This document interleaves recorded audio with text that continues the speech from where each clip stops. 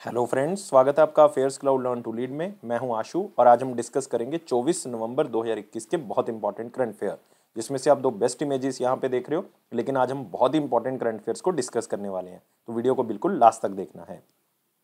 लेकिन उससे पहले आप हमारी एप्लीकेशन को डाउनलोड कर लें करियर्स क्लाउड को। उसका लिंक डिस्क्रिप्शन बॉक्स में दिया हुआ है। लॉग इन कर ले अपनी ईमेल आईडी के थ्रू और क्रैक करंट अफेयर्स के ऊपर क्लिक करके एक साल या फिर दो साल की सब्सक्रिप्शन आप बाय कर सकते हैं। दोनों का ही प्राइस बहुत कम है। लेकिन इसमें हम आपको क्या प्रोवाइड करेंगे? हम आपको डेली करंट अफेयर्स प्रोवाइड करेंगे। डेली में तीन सेक्शन होंगे detail question and answer format और क्विज सेक्शन लेकिन ये तीनों चीज़ें जो हैं, वो आप हमारी एप्लीकेशन के ऊपर ही असेस कर सकते हो और क्विज जो है, वो डेली आप हमारी एप्लीकेशन के ऊपर अटैम्प्ट कर सकते हो। वीकली सेक्शन होगा, उसमें भी तीन सेक्शन होंगे detail question and answer format और क्विज और क्विज वीकली बेसिस पे आप हमारी एप्लीकेशन के ऊपर अटेम्प्ट करोगे। मंथली सेक्शन जो कि बहुत इंपॉर्टेंट है, क्योंकि चार तरह की पीडीएफ्स आपको मिल रही है। डिटेल करंट फेयर की क्वेश्चन एंड आंसर फॉर्मेट की बेस्ट हंड्रेड करंट फेयर वो भी क्वेश्चन एंड आंसर फॉर्मेट में, और चौथी पीडीएफ होगी पॉकेट पीडीएफ जिसमें दो लाइन में, तीन लाइन में आपको करंट फेयर मिल जाएगा, ताकि जल्दी जल्दी में आप इसको रिवाइज कर सको। लेकिन आपकी परफॉर्मेंस को और अच्छा करने के लिए हम आपको 20 अलग अलग तरह की टॉपिक वाइज पीडीएफ दे रहे हैं, ताकि एक टॉपिक दो टॉपिक को अगर आप रिवाइज करना चाहते हैं तो आप टॉपिक वाइज पीडीएफ से कर सकते हैं। अगर आप बैंकिंग स्टूडेंट हैं तो हम आपको तीन सेक्शंस देंगे, जो कि सिर्फ़ बैंकिंग एंड इकोनॉमी से रिलेटेड होंगे। एक में डिटेल होगी क्वेश्चन एंड आंसर फॉर्मेट होगा रिक्वेस्ट होगा। क्विज आप हमारी एप्लीकेशन के ऊपर ही अटैम्प्ट कर सकते हो, लेकिन वो मंथली बेसिस पे अटेम्प्ट कर सकते हो। इसी तरह से आपको एक एग्ज़ाम पीडीएफ मिलेगी, जिसमें जितना भी करंट फेयर जा चुका है 2021 का, उसको रिवाइज करने के लिए आप इसका यूज़ कर सकते हो। आपको डिटेल में बजट और इकोनॉमिक सर्वे मिलेगा, और इसमें आपको एक्सपेक्टेड क्वेश्चन एंड आंसर भी बताए जाएँगे, जो बजट और इकोनॉमिक सर्वे से एग्जामिनर बना सकता है। और अगर आप किसी भी स्टेट एग्ज़ाम की तैयारी कर रहे हैं तो हम आपको हर स्टेट का करंट फेयर प्रोवाइड करेंगे, ताकि आपकी स्टेट परफॉर्मेंस इंप्रूव हो सके। तो इसी तरह से ये सारे करंट फेयर आपको मिलेंगे, लेकिन इकट्ठे मिलेंगे, ये सारी चीज़ें आपको मिलेंगी हमारी एप्लीकेशन के ऊपर तो डाउनलोड कर लें। लिंक डिस्क्रिप्शन बॉक्स में दिया हुआ है। लॉगिन कर लें ईमेल आईडी के थ्रू और क्रैक करंट अफेयर्स के ऊपर क्लिक करके आप एक साल या फिर दो साल की सब्सक्रिप्शन बाय कर सकते हैं। दोनों का ही प्राइस बहुत कम है। लेकिन दोस्तों, एक बात याद रखनी है कि अगर आप नए स्टूडेंट हैं, अपनी प्रेपरेशन को स्टार्ट करें तो मैं आपको एडवाइस करूँगा कि आप दो साल का बाय करें, क्योंकि 2022 में 2022 का लोगे तो वो बहुत कॉस्टली होगा। अभी बाय कर लोगे तो बहुत ज़्यादा फ़ायदे में रहोगे और इसमें आपको दोनों सब्सक्रिप्शन में टेन परसेंट एक्स्ट्रा डिस्काउंट मिल रहा है अगर आप इस कोड का यूज़ करेंगे A S H one zero का। और इस ईमेल आईडी और इस नंबर पर हमें संपर्क कर सकते हैं अगर आपको लगता है कि कोई भी किसी भी तरह का आपको डाउट है। तो स्टार्ट करते हैं। 24 नवंबर 2021 का करंट फेयर लेकिन उससे पहले सारे बच्चे जो है वीडियो को लाइक कर देंगे शेयर करेंगे मैक्सिमम टू मैक्सिमम और चैनल को सब्सक्राइब करेंगे। और टेलीग्राम ग्रुप को ज्वाइन कर लें डिस्क्रिप्शन बॉक्स में लिंक गिवन है। तो स्टार्ट करते हैं पहले क्वेश्चन के साथ। कौन सी ऑर्गेनाइजेशन ने एक अवार्ड जीता है? और उस अवार्ड का नाम है Indira Gandhi prize for peace disarmament and development 2021 तो इसमें ज़्यादातर बच्चे जो Indira Gandhi prize for peace के नाम से इसको याद रखते हैं तो किसी भी तरह से याद रखें, लेकिन ऑर्गेनाइजेशन का नाम क्या है? प्रथम ऑर्गेनाइजेशन तो आंसर क्या होगा? बी होगा। तो आप देख सकते हैं सिविल सोसाइटी एक ऑर्गेनाइजेशन है प्रथम, जो खास करके बच्चों की एजुकेशन के ऊपर काम करती है, और इनको मिला है Indira Gandhi prize for peace 2021 का। और आप देख सकते हो, एक सिविल सोसाइटी ऑर्गेनाइजेशन एक तरह की नॉन गवर्नमेंटल ऑर्गेनाइजेशन एनजीओ है एक तरह की, जो कि बच्चों की एजुकेशन में क्वालिटी को इम्प्रूव करने के ऊपर काम करती है और खास करके उन बच्चों के ऊपर जिनको एजुकेशन नहीं मिल रही है या जो एजुकेशन असेस नहीं कर सकते इंडिया में भी और पूरे वर्ल्ड के अंदर भी। और इनका खास उद्देश्य है कि हर बच्चे को क्वालिटी एजुकेशन जो है वो दी जा सके और डिजिटल टेक्नोलॉजी का यूज़ करके बच्चे जो है वो एजुकेशन ले सके, फ्री ऑफ़ कॉस्ट में ले सके या कुछ नॉमिनल फ़ीस दे के ले सके। और जो यंग अडल्ट हैं उनको जो है वो अलग अलग ट्रेनिंग प्रोग्राम जो है वो हम प्रोवाइड कर सकें ताकि फ्यूचर रेडी बन सके, ताकि आने वाले समय में उनको नौकरी जो है वो मिल सके। और खास करके इस ऑर्गेनाइजेशन ने कोविड नाइन्टीन के टाइम पीरियड पे बहुत अच्छा काम किया है, क्योंकि इन्होंने बच्चों को जब स्कूल बंद हो गए थे, तब उस टाइम पीरियड पे इन्होंने उनको एजुकेशन प्रोवाइड की है। तो ऑर्गेनाइजेशन का नाम याद रखना है, प्रथम एनजीओ है ये, या प्रथम सिविल सोसाइटी एक ऑर्गेनाइजेशन है जो एजुकेशन के लिए बच्चों के लिए काम करती है।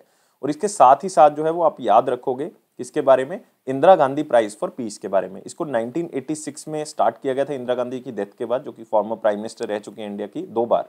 19 आ, आप कह सकते हो 66 में पहली बार बनी थी 77 तक जो है वो लगातार रही और फिर मतलब दो बार रही ये। फिर 1980 से 84 तक एज ए प्राइम मिनिस्टर रही। याद रख सकते हो 84 में जो है वो इनकी डेथ हो गई थी। और इसमें 25 लाख रुपए वो जीतने वाली ऑर्गेनाइजेशन या इंडिविजुअल को दिया जाता है, क्योंकि ये किसी इंडिविजुअल या फिर किसी ऑर्गेनाइजेशन को दिया जा सकता है, जो इंटरनेशनल पीस के ऊपर काम करे, डेवलपमेंट के ऊपर काम करे, या इकोनॉमिक्स या इकोनॉमिक ऑर्डर को मेंटेन करने के लिए काम करे। तो आप कह सकते हो ये डेवलपमेंट का काम है बच्चों को एजुकेशन प्रोवाइड करना, क्योंकि इससे ह्यूमन रिसोर्स क्रिएट होता है तो हम आगे जो है वो बढ़ सकते हैं, देश को आगे बढ़ा सकते हैं। तो आंसर क्या होगा? प्रथम ऑर्गेनाइजेशन। अगला क्वेश्चन है कौन ऐसे पहले इंडियन बने हैं जिनको एक अवार्ड या एक ऑनर मिला है, जिसको कहते हैं नाइटहुड ऑफ़ द पार्थे ग्वेल्फा पार्थे ग्वेल्फा जो है वो इटली का एक ऑनर है और ये फ्लोरेंस में दिया गया इटली का एक शहर है, जिसमें ये अवार्ड जो है वो दिया जाएगा। और ये नाइटहुड ऑफ़ पार्थे ग्वेल्फा one of the highest civilian order है इटली का। ये मिला है डॉक्टर एस के सोहन रॉय को। तो आंसर याद रखना है, आंसर क्या होगा? डी होगा। चाहे क्वेश्चन इतना ही याद कर लें जितना स्लाइड में आपको दिख रहा है। तो आप सोहन रॉय का यहाँ पे फ़ोटो देख सकते हो। इनको मिला है नाइटहुड ऑफ़ पार्थे ग्वेल्फा कहाँ का नाइटहुड है? ये इटली का है। इटली का one of the highest honour है जो इनको मिला है। और ये ऑनर इसलिए दिया जाता है जिस बंदे ने खास करके इन्वायरमेंट के ऊपर काम किया हो। इन्वायरमेंट के ऊपर काम किया इन्वायरमेंट को बचाने के लिए काम किया हो, या लोगों को या ह्यूमेटेरियन बेसिस पे लोगों को बचाने का काम किया हो, उसको ये अवार्ड दिया जाता है। और इस बंदे ने भी ऐसा ही किया है क्योंकि डॉक्टर एस के सोहन रॉय जो हैं, वो बेसिकली फाउंडर हैं एरिस ग्रुप के। एरिस ग्रुप के और इस ग्रुप ने बहुत ज़्यादा पैसा इन्वेस्ट किया है ताकि इन्वायरमेंट को बचाया जा सके वर्ल्ड लेवल पे। कहाँ से बिलोंग करते हैं? इंडियन है केरला से बिलोंग करते हैं, लेकिन रहते कहाँ पे हैं? शारजहाँ में रहते हैं। याद रखना है कहाँ पे रहते हैं? शारजहाँ में। और इंडियन आंट्रप्रन्योर हैं आर्किटेक्ट हैं इंजीनियर हैं इवन अवार्ड विनिंग डायरेक्टर हैं पोइट हैं तो काफ़ी इनके पास उपलब्धियाँ हैं, लेकिन याद रखना है फोर्ब्स लिस्ट के अंदर काफ़ी बार आप इनका नाम देख सकते हो। One of the top Indian leaders में आया है, जो कि अरब कंट्री में रहते हैं, और one of the top leader हैं इंडियन लीडर्स हैं, जो अरब कंट्रीज़ में रहते हैं, और 2015 से 19 तक मतलब चार साल लगातार ये टॉप लीडर्स लिस्ट में आते रहे हैं फॉर्ब्स की तो इसके मतलब अपने आप में एक इंपॉर्टेंट नाम तो है ही है। तो उतना ही क्वेश्चन याद रखें, जितना आपको स्क्रीन के ऊपर दिख रहा है। अगला क्वेश्चन आता है, कौन सी ऑर्गेनाइजेशन है इंडिया से जिन्होंने A B U UNESCO together for peace media award जीता है दो हज़ार इक्कीस का?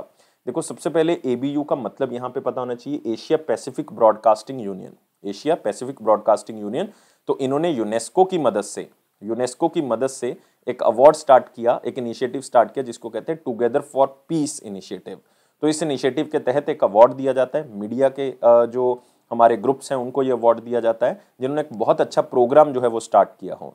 तो बेसिकली ये अवार्ड किसी ऑर्गेनाइजेशन को नहीं, ये उस प्रोग्राम को मिलता है। तो इसलिए ये प्रोग्राम जो है वो इंडिया में दो ऑर्गेनाइजेशन ने स्टार्ट किए थे, एक तो ऑल इंडिया रेडियो एक दूरदर्शन इंडिया तो आंसर क्या होगा इसका? Both B and C D जो है वो सही आंसर होगा। तो आप देख सकते हो ऑल इंडिया रेडियो और दूरदर्शन ने दो प्रोग्राम स्टार्ट किए थे, जिसके कारण उनको ये Asia Pacific broadcasting union, UNESCO peace media award जो है, वो मिले हैं। लेकिन ये प्रोग्राम कहाँ पे हुआ है? मलेशिया के अंदर, क्योंकि जो एशिया पैसिफिक ब्रॉडकास्टिंग यूनियन है, उसका हेडक्वार्टर जो है, वो कहाँ पे है? मलेशिया के अंदर। तो आप देख सकते हो दो प्रोग्राम। एक का नाम है लिविंग ऑन द एज ये प्रोग्राम ऑल इंडिया रेडियो ने स्टार्ट किया था। इस प्रोग्राम का उद्देश्य ये था कि इसमें जो मछुआरे हैं, उनकी लाइफ बताई गई है, जो कि विशाखापट्टनम में रहते हैं, आंध्र प्रदेश के अंदर रहते हैं। उनकी लाइफ के बारे में बताया गया कि कौन कौन सी दिक्कतें कौन कौन सी परेशानियाँ उनको आ रही हैं तो वो सारी बताई गई और किस तरह से वो अपना जीवन व्यतीत कर रहे हैं। नेक्स्ट एक डेफिनेटली लीडिंग दी वे तो यहाँ पे एक वर्ड आपको कैपिटल में दिख रहे हैं डेफ तो इसका मतलब जो सुन नहीं सकते तो उनको हम डेफ कह देते हैं। तो इसका मतलब क्या हो गया? कि आप कह सकते हो कि उन यहाँ पे स्पेशल एबल्ड चाइल्ड को दिखाया गया है, जिन्होंने बहुत ही हिम्मत से काम किया है और उनको दर्शाया गया है और दूसरे बच्चों को जो कि सुन नहीं सकते, बोल नहीं सकते स्पेशली एबल्ड पर्सन है, उनको मोटिवेट करने के लिए ताकि वो अपनी लाइफ को एक डिग्निटी के साथ जी सकते हैं। तो definitely leading the way programme जो है, वो स्टार्ट किया था दूरदर्शन ने। तो इसलिए इन दोनों ऑर्गेनाइजेशंस का नाम ले रहे हैं अदरवाइज़ एग्जामिनर आपको प्रोग्राम के नाम भी पूछ सकता है। तो टूगेदर फॉर पीस जो है वो इनिशिएटिव के थ्रू ये अवार्ड दिया गया। और एशिया पैसिफिक ब्रॉडकास्टिंग यूनियन पूरे वर्ल्ड की बिगेस्ट ब्रॉडकास्टिंग यूनियन है और इसका हेडक्वार्टर आपको कहाँ पे मिलेगा? कोलालमपुर में मिलेगा। तो याद रख सकते हो कोलालमपुर कहाँ पे है? मलेशिया के अंदर। तो बहुत इंपॉर्टेंट हो गया क्वेश्चन अगले क्वेश्चन के ऊपर आते हैं। कोस्ट गार्ड्स ऑफ़ इंडिया और कौन सी कंट्री के बीच में एक बाई इनियल एक्सरसाइज हुई है? मतलब दो साल में सिर्फ़ कितनी बार होती है ये एक्सरसाइज एक बार। और एक्सरसाइज का नाम क्या है? दोस्ती। और ये एक्सरसाइज जो है वो तीन कंट्रीज़ के बीच में हो, क्योंकि ये ट्राईलेटरल एक्सरसाइज है इंडिया श्रीलंका और मालदीव तो आंसर हमारे पास क्या होगा? बोथ बी एंड सी होगा। तो याद रखना है कि ये ट्राईलेटरल एक्सरसाइज है, ये पाँच दिन एक्सरसाइज चली और ये फिफ्टींथ एडिशन है। और हम थर्टियथ एनिवर्सरी मना रहे हैं इसके स्टार्ट होने की खुशी में। और थर्टियथ क्यों? आप कह रहे हो फिफ्टींथ एडिशन है तो हर दो साल में एक बार होता है तो इसका मतलब पंद्रहवा एडिशन है तो दो साल में एक बार होता है तो इसका मतलब कितने साल हो गए इसको स्टार्ट हुए? तीस साल जो है, हो चुके हैं स्टार्ट हुए और ये जो एक्सरसाइज है दोस्ती, नाम से पता लग रहा है फ्रेंडशिप को बढ़ाएगी तीनों कंट्रीज़ के बीच में म्यूचुअल कॉपरेशन जो है वो इंक्रीज होगा कैपेबिलिटी इंक्रीज होगी टेक्नोलॉजी के बारे में जानेंगे, खास करके जो इंडियन ओशन रीजन है, क्योंकि तीनों कंट्रीज़ इंडियन ओशन रीजन में आती हैं तो उसमें भी हम अपनी मजबूती को पेश कर सकते हैं। और ये दोस्ती एक्सरसाइज दोस्तों 1991 में स्टार्ट हुई थी। लेकिन जब ये स्टार्ट हुई थी, सिर्फ़ कौन सी कंट्रीज़ के बीच में थी? इंडिया और मालदीव्स के बीच में थी। तो 2012 में जो है, वो इसके अंदर कौन ज्वाइन कर जाता है? श्रीलंका ज्वाइन कर जाता है। तो आप कह सकते हो अब ये ट्राईलेटरल एक एक्सरसाइज बन चुकी है। तो नाम याद रखना है, दोस्ती। और इसमें आप एक चीज़ और याद रख सकते हो, जैसे कि यहाँ पे एक नाम देख रहे हो आप, मित्र शक्ति। लिख देता हूँ मैं यहाँ पे, मित्र शक्ति एक्सरसाइज मित्र शक्ति एक्सरसाइज ये एक्सरसाइज इंडिया और श्रीलंका के बीच में होती है। याद रख सकते हो, ये आर्मी एक्सरसाइज है। एक एक्सरसाइज और होती है, मेरे ख्याल से वो सारे बच्चों को पता ही होगा SLINEX Sri Lanka India naval exercise ये भी आप याद रख सकते हो। और मालदीव्स के साथ भी हमारी एक एक्सरसाइज होती है, जिसको हम कहते हैं एक्यूवरीन ये भी याद रखोगे। एक्यूवरीन ये आर्मी की एक्सरसाइज है और ये इंडिया और मालदीव्स के बीच में होती है। बिल्कुल याद रखोगे। नेक्स्ट आते हैं। यहाँ पे देख सकते हो by इनियल trilateral exercise Dosti underway for the stability of the Indian Ocean region next आते हैं दोस्तों वेरी इंपॉर्टेंट क्वेश्चन के ऊपर, लेकिन वीडियो को यार लाइक कर दो शेयर कर दो मैक्सिमम टू मैक्सिमम और चैनल को सब्सक्राइब कर दो, और टेलीग्राम ग्रुप को डिस्क्रिप्शन बॉक्स से ज्वाइन कर लो। और क्वेश्चन क्या है? नेम बताना है फिर से मिलिट्री एक्सरसाइज का, जो कि एक सदन कमांड ऑफ़ आर्मी ने स्टार्ट किया, जो कि एक पूना बेस्ड सदन कमांड है आर्मी की, उसने इसको स्टार्ट किया है, उस मिलिट्री एक्सरसाइज का नाम बताना है। देखो सदन से याद रख सकते हैं। सदन को क्या कहते हैं? दक्षिण। दक्षिण उत्तर मतलब हो गया नॉर्थ और दक्षिण हो गया मतलब साउथ तो इसका मतलब आंसर क्या होगा? दक्षिण शक्ति। आंसर का नाम मतलब आंसर क्या होगा इसका? सी होगा। तो दक्षिण शक्ति जो है वो एक ट्रेनिंग एक्सरसाइज है आ, सदन कमांड के बीच में। और ये एक्सरसाइज हुई कहाँ पे है? राजस्थान और गुजरात के ट्रेनिंग फील्ड्स में हुई है। और ये लाइक सदन आर्मी के जो ट्रूप्स हैं उनके बीच में हुई है। क्योंकि 41 परसेंट लैंड एरिया जो है वो कंट्री का सदन एरिया ही हमारा कवर होता है। और आप कह सकते हो एक्सरसाइज जो है, वो उसमें अलग अलग तरह की चीज़ें की जाएँगी लाइक फाइटिंग स्किल्स के बारे में बात की जाएगी इवन एयर स्किल्स के बारे में यहाँ पे प्रैक्टिस होगी स्पेस के बारे में प्रैक्टिस होगी साइबर सिक्योरिटी के बारे में होगी इलेक्ट्रॉनिक एंड इन्फॉर्मेशन वॉरफेयर होगा तो इस तरह की टेक्नोलॉजी के ऊपर भी जो है वो काम किया गया है। और इसका मेन फोकस यही है कि नई टेक्नोलॉजी इंडिजीनियस टेक्नोलॉजी हमारे द्वारा ही बनी हो, उसके ऊपर काम किया जा सके, जैसे कि एडवांस लाइट हेलीकॉप्टर ध्रुव के ऊपर बात की जा सकती है। ड्रोन्स की टेक्नोलॉजी के ऊपर बात हो सकती है। इंटेलिजेंस जो सर्वेलेंस है हमारा उसके ऊपर बात हो सकती है। तो उसके ऊपर जो है वो हम इस दक्षिण शक्ति के अंदर चर्चा करेंगे। इवन एक एक्सरसाइज है सागर शक्ति। याद रखोगे? सागर शक्ति। सागर शक्ति दोस्तों दक्षिण शक्ति का ही एक पार्ट है। आ, मतलब आप कह सकते हो कि इस एक्सरसाइज के अंदर एक एक्सरसाइज और परफॉर्म की गई है जिसका नाम है सागर शक्ति। चार दिन ये एक्सरसाइज की गई। और इसका भी मेन उद्देश्य यही था कि सागर शक्ति के अंदर जो इंडियन आर्मी है चाहे इंडियन नेवी है, चाहे आप कह सकते हो इंडियन एयरफोर्स है इंडियन कोस्ट गार्ड है बॉर्डर सिक्योरिटी फोर्स है, ये सारे इकट्ठा पार्टिसिपेट करें और वो पार्टिसिपेट कहाँ पे किया? कच्छ के अंदर, गुजरात के अंदर। तो वहाँ पे जो है वो आप कह सकते हो सागर मतलब आप कह सकते हो समुंदर और उसके अंदर जो है वो हमने अपनी शक्ति हमने उसको जो है वो और मज़बूत करना है। इसलिए ये सागर शक्ति एक्सरसाइज की गई। तो बहुत इंपॉर्टेंट क्वेश्चन है। इसको याद रखना है। क्वेश्चन किसी भी तरह से आपको एग्जामिनर में पूछा जा सकता है। दक्षिण शक्ति। कौन से रेलवे स्टेशन का नाम बदल के जो है वो तांत्या बील रेलवे स्टेशन कर दिया है? तो तांत्या बील बील कम्युनिटी से बिलोंग करता हुआ एक ट्राइबल लीडर तांत्या बील, और इनको एक नाम से और जाना जाता है। इंडियन रॉबिन हुड के नाम से भी जाना जाता है। किस नाम से? इंडियन रॉबिन हुड के नाम से भी इसको जाना जाता है। और आप कह सकते हो कि ये किया गया है पताल पानी रेलवे स्टेशन का नाम, जो कि कहाँ पे है? मध्य प्रदेश में। और शिवराज सिंह चौहान, जो यहाँ के आप कह सकते हो, चीफ मिनिस्टर हैं उन्होंने इस रेलवे स्टेशन का नाम बदल के जो है वो क्या कर दिया? तांत्याबील रेलवे स्टेशन कर दिया है। और याद रखने पताल पानी रेलवे स्टेशन जो है वो कहाँ पे है? इंदौर के अंदर। कहाँ पे? इंदौर में। तो आप देख सकते हो पताल पानी रेलवे स्टेशन और इसका नाम बदल के अब तांत्या बील हो गया। कौन थे तांत्या बील तांत्या बील जो है वो एक बील ट्राइब के लीडर थे। इंडिजीनियस आदिवासी कम्युनिटी है इंडिया की, और आप कह सकते हो ये वन ऑफ़ दी ऐसे रेवोल्यूशनरी हैं जो ब्रिटिश रूल के खिलाफ लड़े हैं। क्या करते थे ये? जो ब्रिटिश आप कह सकते हो अंग्रेज़ों का खजाना था, उसको चुराते थे, और जो गरीब लोग हैं उसमें डिस्ट्रीब्यूट कर देते थे। तो क्योंकि ब्रिटिशर ने हमसे लूटा, हमने उनसे लूट लिया, और हमने गरीबों में डिवाइड कर दिया। तो ये याद रखना है पताल पानी रेलवे स्टेशन का नाम अब होगा तांत्याबिल रेलवे स्टेशन। और रिसेंटली मध्य प्रदेश ने एक रेलवे स्टेशन का नाम और चेंज किया है। हबीबगंज रेलवे स्टेशन का नाम जो है वो क्या हो गया है? रानी कमलापति। याद रख सकते हो, रानी कमलापति रेलवे स्टेशन नाम रख दिया ये गौंड ट्राइब की एक क्वीन है। गौंड ट्राइब की एक रानी है, जिनका नाम जो है वो चेंज करके अब हबीबगंज का रानी कमलावती कर दिया। और मंडुआदी रेलवे स्टेशन यूपी में दोस्तों, इसका नाम कर दिया बनारस रेलवे स्टेशन। और झांसी रेलवे स्टेशन का आपको पता ही है, वीरांगना रानी लक्ष्मी रेलवे स्टेशन के नाम से जाना जाएगा इसको। तो बहुत इंपॉर्टेंट इंपॉर्टेंट से नाम है जो आपने याद रखने हैं। और मध्य प्रदेश के बारे में भी याद रख सकते हो। मध्य प्रदेश के चीफ मिनिस्टर तो आप यहाँ पे देख सकते हो, शिवराज सिंह चौहान और यहाँ के गवर्नर हैं छगन भाई मंगन भाई पटेल, सीएम पटेल, याद रख सकते हो। और मैक्सिमम फॉरेस्ट एरिया आपको मिलेगा, maximum forest area Madhya Pradesh का मिलेगा और इसी तरह से मैक्सिमम टाइगर्स भी आपको मध्य प्रदेश में मिलेंगे। मैं बार बार हर लेक्चर में इसलिए बताता हूँ, आपको याद हो जाएँगे, आपको एफर्ट्स नहीं करने पड़ेंगे याद करने की। मैक्सिमम टाइगर्स जो हैं वो आपको मध्य प्रदेश में मिलेंगे सेकंड नंबर पे कर्नाटका में मिलेंगे।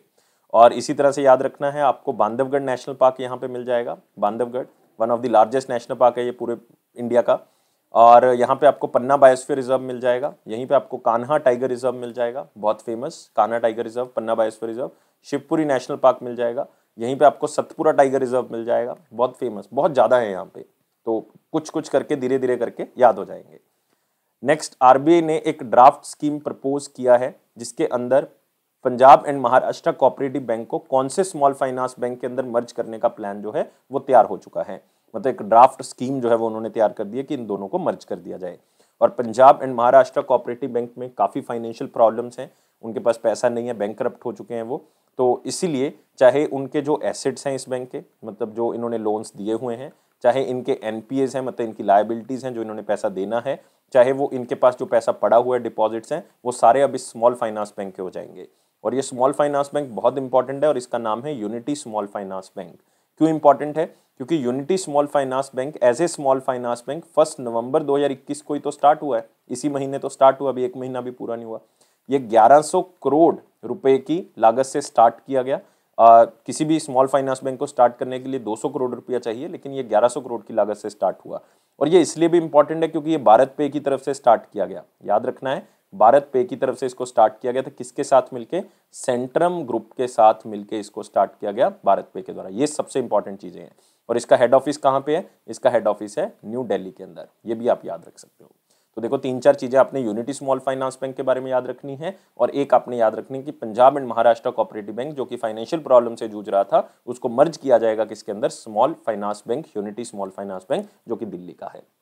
और इसमें खास बात क्या थी कि ये भारत पे का है। बहुत इंपॉर्टेंट अगला क्वेश्चन आते हैं, उस मिशन का नाम बताना है, जो कि नासा ने सेलेक्ट किया है ताकि अर्थ साइंस मिशन के तौर पे उसको जाना जाए। और मैं आपको बताना चाहूँगा, एक नासा का प्रोग्राम है अर्थ वेंचर प्रोग्राम तो उसके तहत इसको स्टार्ट किया गया है। और इस मिशन का नाम क्या है? इंकस याद रखोगे आंसर क्या होगा? बी होगा। यहाँ पे देख सकते हो, और ये मिशन जांचेगा कि जो ये तूफ़ान आते हैं, ये क्यों आते हैं, क्या कारण है इसका? एग्जैक्टली exactly कहाँ से ये स्टार्ट हो रहे हैं? और क्या क्लाइमेट के ऊपर इसका इफ़ेक्ट हो रहा है, सारी चीज़ें, ये मिशन जो है, वो जानकारी देगा नासा को। तो इनकस का मतलब है इन्वेस्टिगेशन ऑफ़ कन्वेक्टिव अपड्राफ्ट्स मतलब जो आप कह सकते हो, जो समुंदर से लहरें उठती हैं, वो क्यों उठती हैं? समुंदर में जो तूफ़ान आते हैं, वो क्यों होते हैं? अपड्राफ्ट मतलब ऊपर की तरफ़ उठना तो क्यों उठते हैं? तो उसके बारे में नासा को जानकारी देगा। और आप कह सकते हो, ये तीन स्मॉल सैटेलाइट से बना हुआ एक मिशन है, जो कि बिल्कुल आसपास होंगे। और ये देखेंगे कि जो ट्रॉपिकल स्टॉम्स हैं, जो तूफ़ान हैं, वो बेसिकली क्यों आते हैं? पानी के ऊपर थंडर स्टॉम्स क्यों आते हैं? और आप कह सकते हो इसका वेदर के ऊपर क्या इफ़ेक्ट है? और एक्चुअल में ये वेदर जो है वो कहाँ से चेंज हो रहा है? कैसे ओरिजिनेट हो रहा है? तो इंकस जो है वो डायरेक्टली ये बताएगा कि जो स्टॉम्स हैं, जो तूफ़ान हैं, या बहुत ज़्यादा बारिश हो रही है जो क्लाउड्स बन रहे हैं, बादल बन रहे हैं एग्जैक्टली क्यों बन रहे हैं, कहाँ पे बन रहे हैं, ये सारी इन्फॉर्मेशन देगा। और ये मिशन को 2027 में लॉन्च किया जाएगा। आप देख सकते हो 2021 चल रहा है 2027 की तैयारी हो रही है तो इसी तरह से आपने भी आगे का सोच के जो है वो तैयारी करनी है, किसी भी चीज़ को आगे का सोच के करना है, जैसे कि नासा कर रहा है। और इसमें 177 मिलियन डॉलर जो है वो खर्च किए जाएँगे दोस्तों। याद रखना आपने, दो हज़ार सताइस में इस मिशन को स्टार्ट किया जाएगा। और मैं आपको एक चीज़ और बता रहा था कि अर्थ वेंचर प्रोग्राम का एक जो है, उसका हिस्सा है। अर्थ वेंचर प्रोग्राम जो है वो नासा का ही एक प्रोग्राम है। इसमें लो कॉस्ट सैटेलाइट्स यूज़ की जाती हैं लो कॉस्ट मिशंस होते हैं ये और ये अर्थ सिस्टम को जानने के लिए करंट अर्थ सिस्टम को जानने के लिए और फ्यूचर में क्या चेंजेस हो सकते हैं उसको जानने के लिए इस तरह के जो प्रोग्राम है वो स्टार्ट किए जाते हैं नासा के द्वारा इसको कहते हैं अर्थ वेंचर प्रोग्राम और ये फ्यूचर में आ, क्या इफ़ेक्ट कर सकते हैं चीज़ें जो भी क्लाइमेट से रिलेटेड है उसको जानने के बारे में होता है। तो याद रखना है क्या होगा इंकस अगला आते हैं उड़ान उत्सव जो है वो कहाँ पे सेलिब्रेट किया गया? बहुत ही सिंपल सा क्वेश्चन था। कि उड़ान उत्सव जो है वो रिसेंटली कहाँ पे सेलिब्रेट किया गया? ये दोस्तों एक एयरपोर्ट है, याद रखोगे, क्या नाम है उसका? वीर सुरेंद्र सहाय। वीर सुरेंद्र साय एयरपोर्ट और ये एयरपोर्ट कहाँ पे है? ये है जारसूगुड़ा में। जारसूगुड़ा कहाँ पे है? जारसूगुड़ा है ओडिशा के अंदर। तो आंसर हमारे पास क्या हो जाएगा? ओडिशा हो जाएगा। डी आंसर होगा। और इसको अटेंड किसने किया जो हमारे सिविल एविएशन के यूनियन मिनिस्टर हैं, ज्योतिरादित्य सिंधिया जी ने इसको अटेंड किया है और उन्होंने टारगेट रखा है कि 220 एयरपोर्ट जो है वो हमने कर देने हैं अगले पाँच साल के अंदर। 220 एयरपोर्ट कर देने हैं, जिसमें हेलीपैड्स भी इंक्लूड होंगी एरोड्रॉम्स भी इंक्लूड होंगे मतलब पानी के ऊपर भी कुछ इंक्लूड किया जाएगा। और इवन उन्होंने अनाउंस किया कि ग्रीन फ़ील्ड एयरपोर्ट जो है वो बनाया जाएगा कहाँ पे? उड़ीसा के अंदर, कहाँ पे? पुरी के अंदर। ये भी आपने याद रखना है। और minister of civil aviation Jyotiraditya Scindia हैं और राज्यसभा के मेंबर हैं कहाँ से? मध्य प्रदेश से।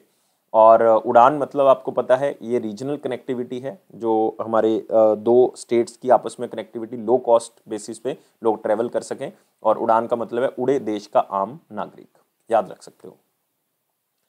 नेक्स्ट एक बुक लिखी गई है contested land India China and the boundary dispute मतलब क्लियर है इंडिया और चाइना के बीच में जो लैंड है, जो डिस्प्यूटेड लैंड है या जो डिस्प्यूट चल रहा है, उसके बारे में लिखी गई है, नाम क्या है? कंटेस्टेड लैंड और ये बुक लिखी है फॉर्मर आर्मी के ऑफिसर थे, उनका नाम था मरूफ राजा। तो आंसर क्या होगा इसका? ए होगा। बहुत ही सिंपल सा क्वेश्चन था, सिर्फ़ इतना ही याद रखें। और नाम है contested land India China and the boundary dispute Maroof Raza ने इस बुक को लिखा है। इस बुक में स्पेशली बताया गया है कि इंडिया की बाउंड्री जो तिब्बत के साथ, जो कि ऑटोनमस एरिया चाइना का चाइना के साथ जो लग रही है, और इंडिया चाइना का जो बाउंड्री बहुत ही ज़्यादा आप कह सकते हो फ्रेजाइल है मतलब आप कह सकते हो बहुत जल्दी जो है वो आपस में दरार आ जाती है इंडिया और चाइना के बीच में। और 1947 के बाद जो है, खास करके जब इंडिया आज़ाद हुआ, उसके बाद ये लैंड डिस्प्यूट कैसे बढ़े हैं इंडिया और चाइना के बीच में? और आप कह सकते हो किस तरह से रिलेशन इंडिया और चाइना के बीच में इम्प्रूव हुआ, फिर वॉर हुई 1962 में, फिर उसके बाद जो है वो किस तरह से लैंड डिस्प्यूट सामने आए, खास करके अरुणाचल प्रदेश वाले एरिया में, लद्दाख वाले एरिया में स्काईचिन वाले एरिया में तो उसके बारे में यहाँ पे बताया हुआ है। और किस तरह से इंडिया का बिहेवियर इन लैंड डिस्प्यूट्स के अंदर जो है वो चेंज हुआ चाइना के प्रति वो सारी चीज़ें यहाँ पे बताई हुई हैं। तो याद रखना है ये बुक किसने लिखी है? मरूफ राजा। एक वर्ड याद कर लें कंटेस्टेड लैंड ये भी पूछा जा सकता है कंटेस्टेड लैंड कौन सी दो कंट्रीज़ के बीच में आ, जो है वो बात करती है बुक ये इंडिया और चाइना के बीच में बात करती है।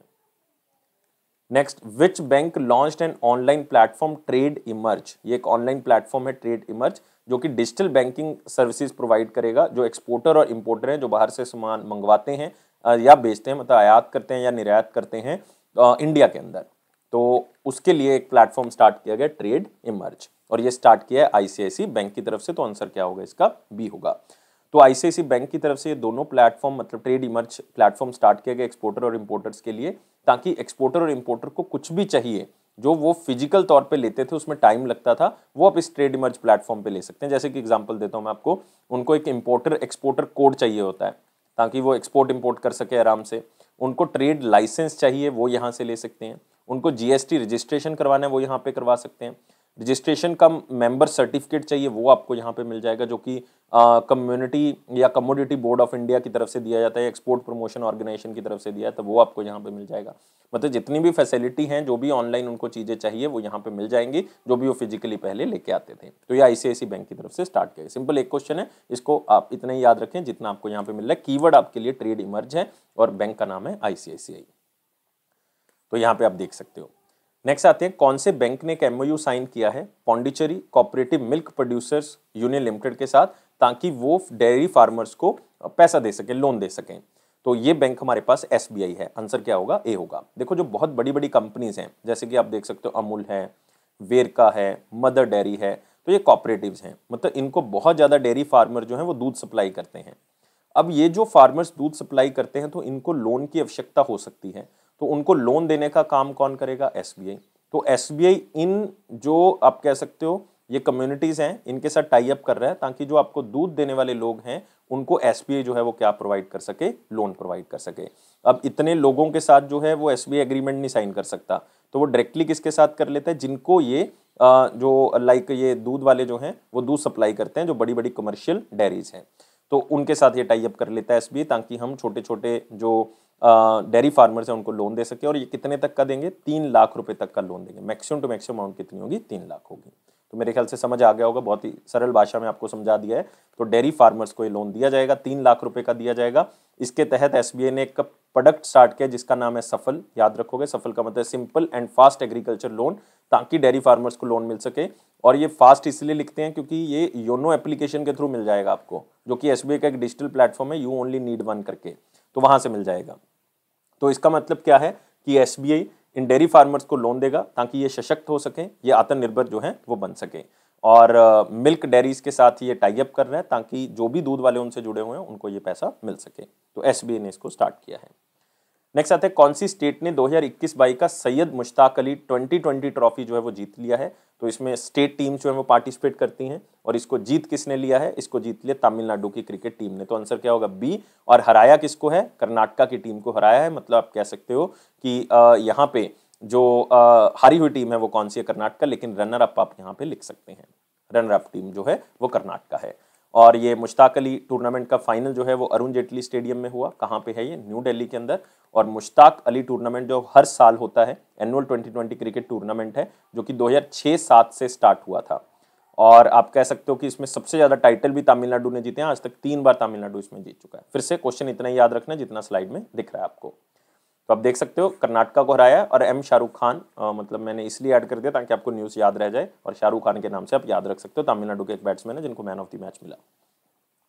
नेक्स्ट डॉक्टर जितेंद्र सिंह ने एक वर्चुअल लैब का उद्घाटन किया है। फ़र्स्ट इंडिया की वर्चुअल लैब होगी ये जो कि बच्चों के लिए बनाई गई है जिज्ञासा प्रोग्राम के तहत। और ये कौन से ऑर्गेनाइजेशन की हेल्प से बनाई गई है? Council of scientific and industrial research की हेल्प से बनाई गई है। और जिज्ञासा प्रोग्राम एक ऐसा प्रोग्राम है जो 2017 में दोस्तों स्टार्ट किया गया था, केंद्रीय विद्यालयों की मदद से और सीएसआईआर की मदद से, ताकि जो बच्चों का क्लासरूम लर्निंग एक्सपीरियंस है वो लैब तक पहुँचाया जा सके और लैब में वो कुछ प्रैक्टिकल सीख सकें।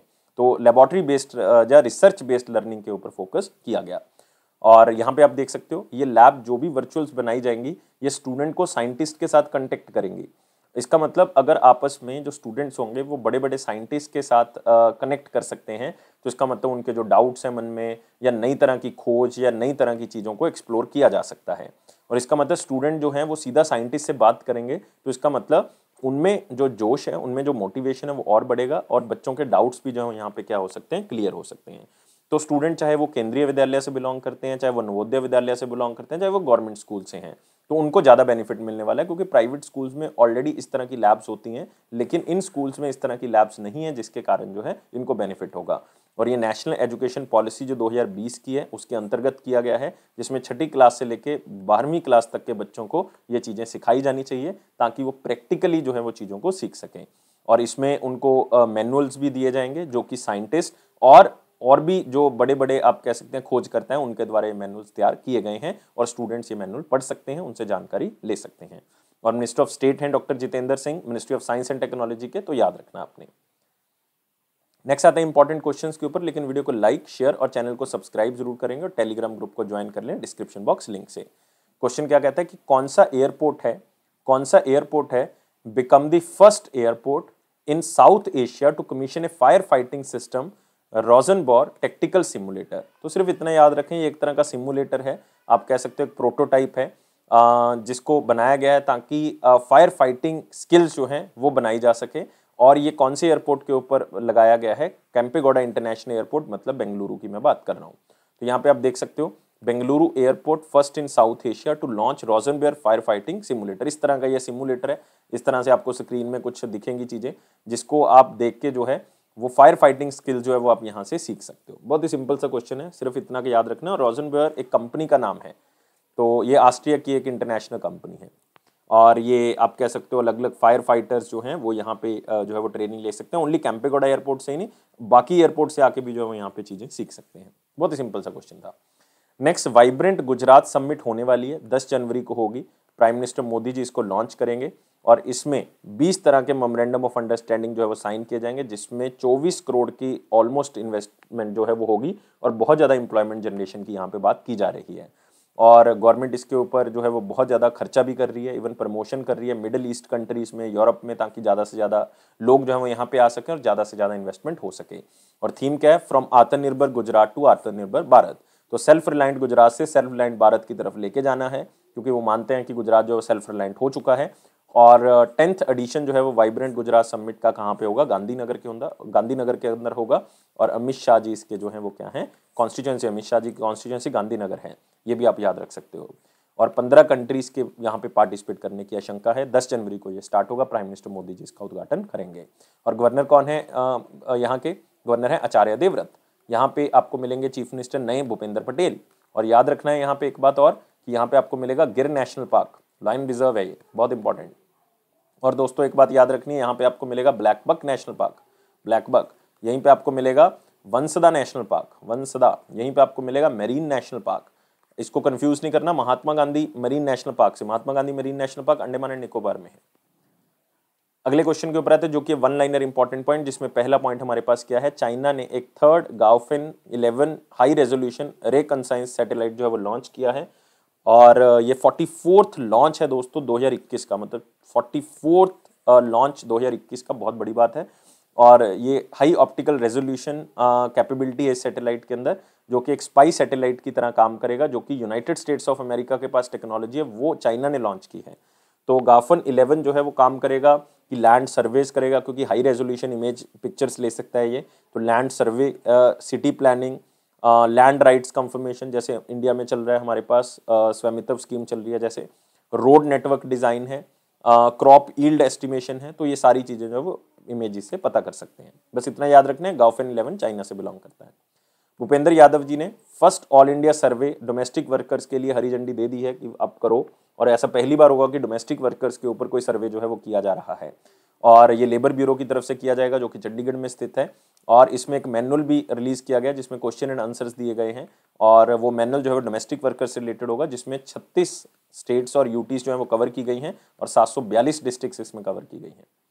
नेक्स्ट एस की रिसर्च में जो बताया गया एस रिसर्च, जो कि एक ऑर्गेनाइजेशन है, जो कि प्रोडिक्ट करती है इंडिया की ग्रोथ तो जीडीपी प्रोजेक्शन जो है वो इन्होंने फाइनेंशियल ट्वेंटी टू के लिए 9.3 से 9.6 परसेंट प्रोडिक्ट की है। तो आपने याद रखना है recently economic advisory council advisory council जो कि हेड करते हैं विवेक देबरॉय जी तो उन्होंने प्रोडिक्ट किया है इकोनॉमिक एडवाइजरी काउंसिल ने कि फाइनेंशियल ईयर ट्वेंटी में इंडिया पाँच परसेंट ग्रो करेगा और फाइनेंशियल ईयर ट्वेंटी में सात से सात पॉइंट पाँच परसेंट ग्रो करेगा। ये उनके अंदेशा है। लेकिन इन्होंने नाइन पॉइंट थ्री से नाइन पॉइंट सिक्स परसेंट कहा है क्योंकि इससे पहले इन्होंने आठ पॉइंट पाँच से नौ परसेंट कहा था। तो अब ये बढ़ गया है। रोमानिया के प्रेसिडेंट जो हैं, उन्होंने नए प्राइम मिनिस्टर बनाए हैं, जिनका नाम है निकोलाई सिक्का तो ये याद रखोगे नाम, निकोलाई चाहे ओनली याद कर ले। और रोमानिया के जो प्रेसिडेंट हैं, वो है क्लॉज योहानिस। क्लॉज चाहे ओनली क्लॉज याद कर ले, पूरा नाम लिख देता हूँ। योहेनिस। योहेनिस। तो उन्होंने नए प्राइम मिनिस्टर बनाए, निकोलाई सिक्का और ये ऑलरेडी अभी जो है, वो केयर टेकर डिफेंस मिनिस्टर हैं, क्योंकि ये आर्मी के जनरल रह चुके हैं तो डिफेंस मिनिस्टर हैं आजकल। लेकिन ये बनेंगे नए प्राइम मिनिस्टर रोमानिया के। रोमानिया की करेंसी क्या है? रोमानियन ल्यू याद रख सकते हो।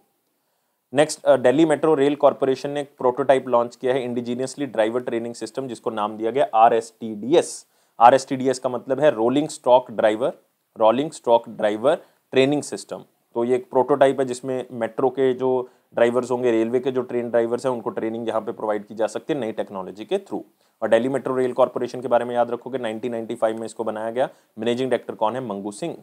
Mangu Singh. Next south Korea के पुराने प्रेसिडेंट हुन दू हवान देहांत हो गया उनका हुन हु दवान का।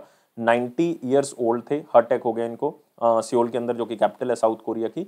और ये डेमोक्रेटिक जस्टिस पार्टी से बिलोंग करते थे डेमोक्रेटिक जस्टिस पार्टी से। और 1981 से लेकर 87 तक साउथ कोरिया के प्रेसिडेंट रह चुके हैं।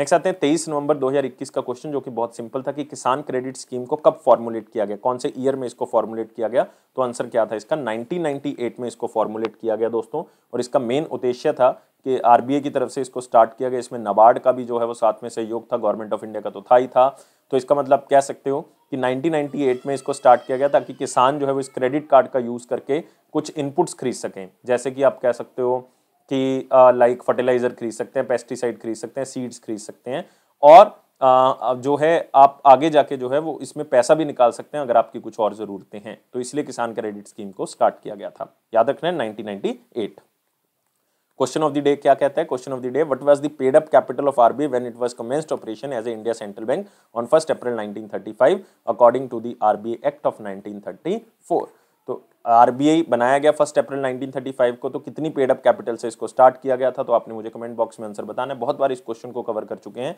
लेकिन वीडियो को लाइक कर दें शेयर कर दें और चैनल को सब्सक्राइब कर दें बेल बटन को प्रेस करें टेलीग्राम ग्रुप को ज्वाइन कर लें, ताकि नोटिफिकेशन आपको मिल सके। और ये अफेयर्स क्लाउड का प्रॉमिस है कि आपके कॉन्फिडेंस को ज़रूर बूस्ट करेगा। इसी तरह से वीडियोज़ को देखते रहें। और बहुत बहुत शुक्रिया। इसी तरह से हँसते रहें। और हँसते रहोगे तो इसका मतलब एक पॉजिटिव इन्वायरमेंट क्रिएट होगा, लेकिन लाइफ को बहुत ज़्यादा सीरियस नहीं लेंगे। Thank you guys take care and bye